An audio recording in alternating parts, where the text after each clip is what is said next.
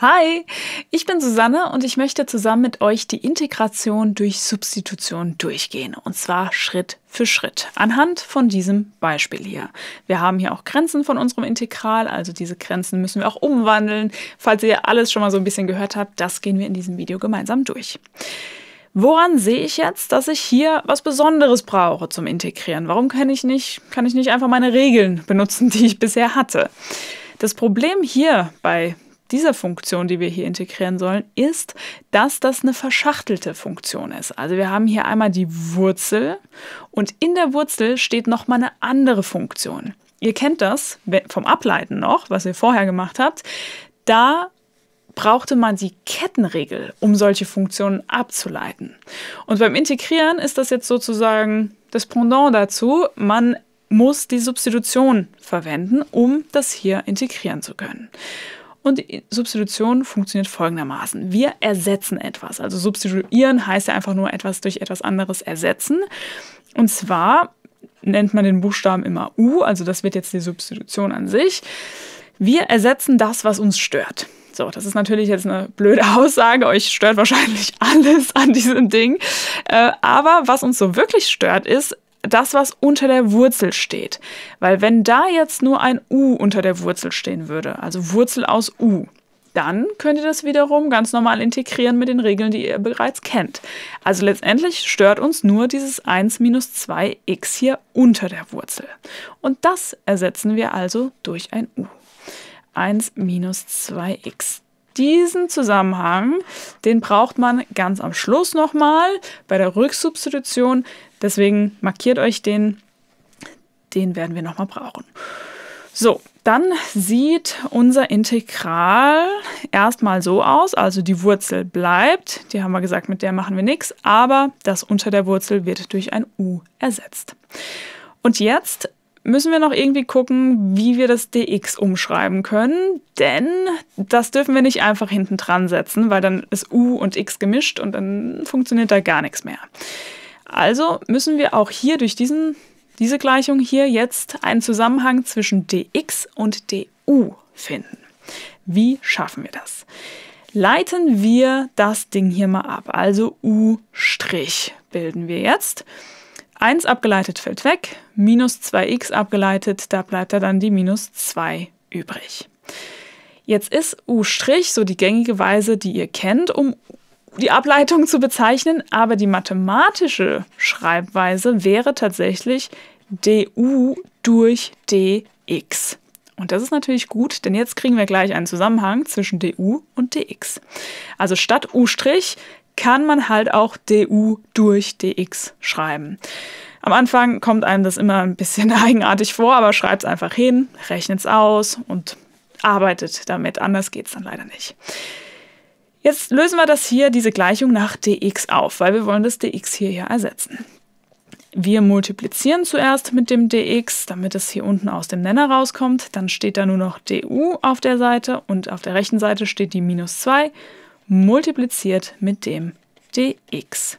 Jetzt haben wir es fast schon. Wir wollen ja nach dx auflösen. Dann müssen wir jetzt nur noch durch diese minus 2 hier teilen, damit die da verschwindet auf der rechten Seite. Da steht dann nur noch das dx. Und auf dieser Seite hier würde das du stehen und geteilt durch die minus 2. Diese Schreibweise hier ist nicht ganz so gut, für unser Integral gleich. Deswegen würde ich euch immer vorschlagen, splittet das du von der Zahl ab, also damit das du alleine steht und die Zahl, die vor dem du steht, ist ja, so, ist ja der Bruch dieses 1 durch minus 2. Also die Zahl trennen von dem du. Einfach nur anders hinschreiben. Dann kann man nämlich besser damit rumrechnen. Sehr gut, dann haben wir jetzt eine Darstellung für das dx und das setzen wir natürlich auch da oben ein. Das bedeutet, statt dem dx können wir eben das da schreiben, nämlich mal minus 1,5 und hinten dran das du. So, was haben wir jetzt noch nicht beachtet? Die Grenzen. Die Grenzen muss man auch umändern. Vorher sind es nämlich sogenannte x-Grenzen oder bezüglich x die Grenzen. Und hier haben wir jetzt nur noch u, also müssen auch die Grenzen in U-Grenzen umgerechnet werden. Und das bekommen wir mit unserer ganz normalen Substitution. Also für das x setzen wir die untere Grenze mal ein, die minus 1. Dann steht da 1 oder ich schreibe es mal hin, also 1 minus 2 mal für das x setzen wir eben minus 1 ein.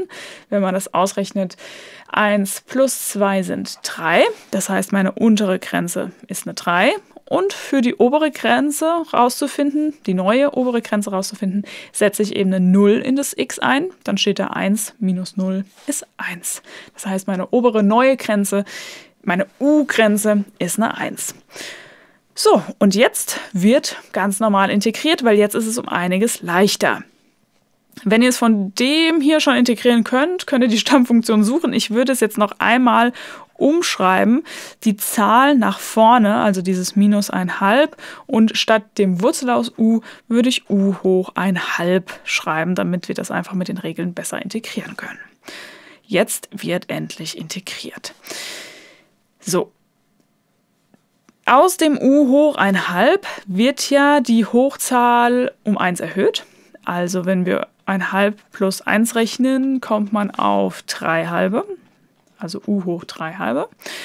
Und vorne, jetzt brauchen wir noch diesen Korrekturfaktor, da wird ja die vorherige Zahl, die dort stand, dieses minus 1,5, geteilt durch die neue Hochzahl, durch das 3 halbe. Und die Grenzen sind jetzt immer noch 3 und 1. Und jetzt können wir die Grenzen einsetzen oder erstmal ein bisschen vereinfachen, dann die Grenzen einsetzen. Wenn wir minus ein halb durch drei halbe rechnen, kommt man auf minus ein Drittel. Das habe ich jetzt schon mal auf der anderen Seite vorbereitet. Hier steht genau das, nur ein bisschen vereinfachter. Und da setzen wir jetzt die Grenzen ein. Zuerst die obere, also die 1. Dann steht da minus ein Drittel mal 1 hoch 3 halbe. Dann kommt ja immer ein Minus und die untere Grenze wird eingesetzt, nämlich die 3. Also, dann steht da minus ein Drittel mal 3 hoch 3 halbe. Und wenn man das ausrechnet, kommt man ja hier auf minus ein Drittel und da hinten plus ein Drittel mal 3 hoch 3 halbe. Und wenn ihr das ausrechnet, kommt man ungefähr auf 1,4.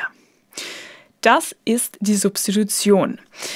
Wenn ihr jetzt, also wir haben die Grenzen ja ähm, in U-Grenzen umgewandelt und deswegen konnten wir die Grenzen hier jetzt am Schluss einfach einsetzen, weil wir die Grenzen abgeändert haben.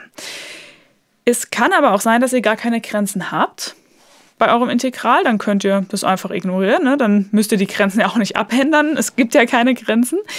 Nur dann müsst ihr hier am Schluss ich merke mir mal gerade dieses u gleich 1 minus 2x, das war unsere Substitution, dann müssten wir, wenn jetzt keine Grenzen haben und wir nur eine Stammfunktion gesucht haben, dann ignoriert man eben die Grenzen. Aber dann müsste man hier am Schluss, da wo minus ein Drittel mal u hoch 3 halbe steht, das kann ja nicht meine Stammfunktion sein, wenn da plötzlich ein u drin ist von meiner Ursprungsfunktion. Ich brauche ja irgendwas mit x. Und dann müsste man hier nochmal die Rücksubstitution machen. Das heißt, für mein x muss ich, äh, für, für das u muss ich wieder das einsetzen, was es halt mal war, nämlich 1 minus 2x. Das bedeutet, um die Stammfunktion dann letztendlich zu finden, setze ich hier für das u nochmal 1 minus 2x ein und hoch 3 halbe natürlich. Und dann ist das da meine Stammfunktion.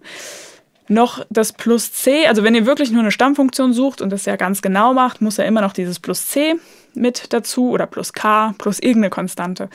Ähm, aber ich weiß nicht, ob das bei euch so wichtig ist. Aber falls, es, falls ihr es machen sollt, dann muss es natürlich hier hin, weil wir hier keine Grenzen haben.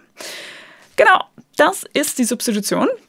Muss man sich ein bisschen dran gewöhnen, ähm, aber wenn man ein paar Beispiele gerechnet hat, dann kommt man eigentlich ganz gut damit durch. Dann hoffe ich, dass ihr jetzt wisst, wie es funktioniert, aber meldet euch gerne, falls ihr Fragen haben solltet.